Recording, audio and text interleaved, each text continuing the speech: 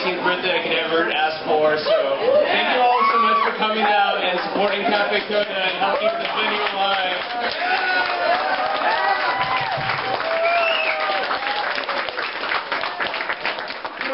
It's Just one of many very badass shows they put on. I'm so thankful to be a part of it. I'm so thankful to be blessed with so many friends.